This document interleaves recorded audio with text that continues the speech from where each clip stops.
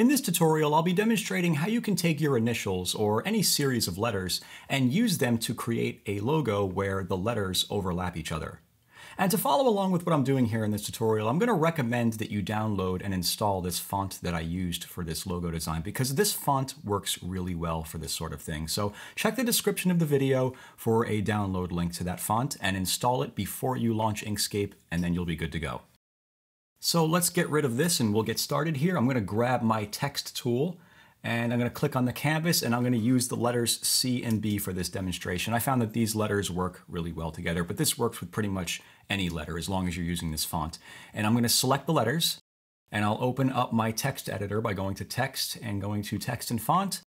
And the font I'm looking for is called Winner. So I'm going to type that in and apply it. And now we have the font applied. So let me collapse this menu I'm going to grab my selection tool and I'm going to increase the size of this. I'm going to hold my control key while I do that so we can scale it up proportionately. And I'm going to place it in the center of the page. So now let's convert this from a text object to a path by going to path and selecting object to path. And then we want to split the letters apart. So I'll go back to the path menu and I will choose split path. And now we have two separate letters. And I'll zoom in on this so you can see it better. So what we're going to do here is I'm going to take this letter C and I'm going to collapse its height and then elongate it so that it can intertwine with this letter B here. And to do that, we're going to use the nodes tool. So let me select the letter and then I'll come over to my nodes tool and I'm going to click and drag over these nodes to select them. And then I'm going to click and drag them down. I'm going to hold my control key while I do that and click and drag to bring these nodes down like this. We want this letter C to fit within this letter B. Uh, and in order to do that, we need to shrink that down. Now, a problem I'm running into here is that this part of the design, this part of the letter anyway, is starting to collapse in on itself. So I'm going to move these up a little bit. I'm going to select just these nodes right here, and I'm going to use my arrow keys to move them up. I'm going to use my up arrow key, and I'm going to count the number of steps that I used to move these nodes because I want to move these nodes over here down by the same number of steps. So I'm going to press the up arrow key, one, two, three, four, five, six, seven, eight. 15 times, and I'll do the same thing down here. I'm going to select these nodes, and I'll move them down 15 steps as well. One, two, three, four. And we do that just to maintain the symmetry. So let me grab my selection tool now, and I'm going to move this letter over here and put it on top of the letter B where I would like it to be. And I'll go back to my nodes tool, and I'm just going to use the nodes tool to select these nodes and adjust the size of this some more. So I'm going to hold control while I do this, so it locks it onto the horizontal axis while I move these nodes. And I'm going to collapse this down a little more. What I'm paying attention to right here is where the arm of the C intersects with the um, negative space of the letter B here. I want this to be roughly halfway through. So let me move this up a little bit. And now it looks like it's going about halfway through. And I'll do the same thing to these top nodes over here. I'll move these ones down. And again, I'm holding control the whole time I do this to make sure that we're locking it onto the vertical axis. And what I'll do now is I'll grab my selection tool and I will select both of these letters and I'm going to open up my alignment menu by going over to object and selecting align and distribute.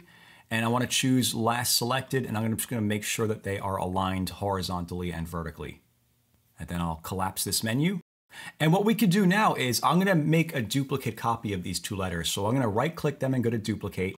And I want to make offset copies of these. So with them selected, I'm going to go to path and I'm going to select outset.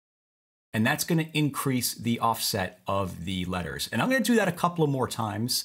Uh, this offset represents the spacing that's going to be between the letters when they're overlapping each other. So depending on how large or small is, you may want to repeat this step a few more times. I'm to repeat this one more time.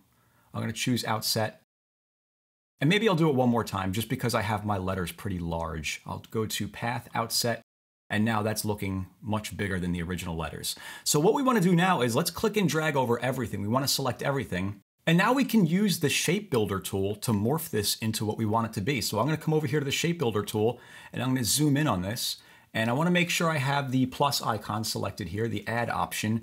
And now I can just click and drag through the areas of the design and shape it how I would like it to be shaped. So I'm going to click and drag through this part of the design right here because I want this part of the letter B to overlap this part of the letter C. And then I want this part of the letter C to overlap the letter B over here. And then we get that effect. So I'll come down here and repeat this, but the opposite way. I'm going to make this part overlap, and then I'll make this part overlap. And then I'm going to click on this part right here to highlight it in blue. Now it's important that you highlight everything that you want to keep in blue. You have to click on it to highlight it in blue. And if you don't do that, it's gonna be deleted once you're finished. So everything that's gray is gonna be deleted. Everything that's not blue is gonna be deleted. And once you're finished, you can press the check mark button up here. And just like that, we have created an interlocking letter logo using the Shape Builder tool in Inkscape. If you found this lesson useful, then consider checking out my Inkscape Masterclass. It's a collection of over 60 videos where I go over all of the tools and features in Inkscape and I explain what they are and demonstrate how they work. Kind of like how I did in this video. We even have a private community where you can ask questions and get help from me anytime you want. And best of all, there's no monthly membership fees. You just pay $17 one time and you're in for life. I'll have some information about that down below if you want to check that out. As always, thanks for watching.